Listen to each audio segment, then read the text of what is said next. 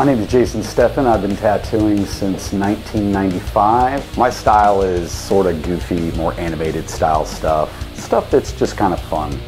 The artists that I was into when I was young came from looking at children's books, but also when I got a little bit older from uh, like Jim Phillips did a lot of skateboard art in the 80s and 90s, and that was a really big influence on me.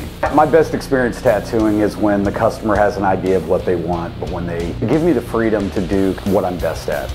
I started tattooing because I was going to college and I didn't know what I wanted to do and I loved getting tattooed and all my friends were getting me to draw their tattoos and to be honest it seemed like it would be a career that I could really love.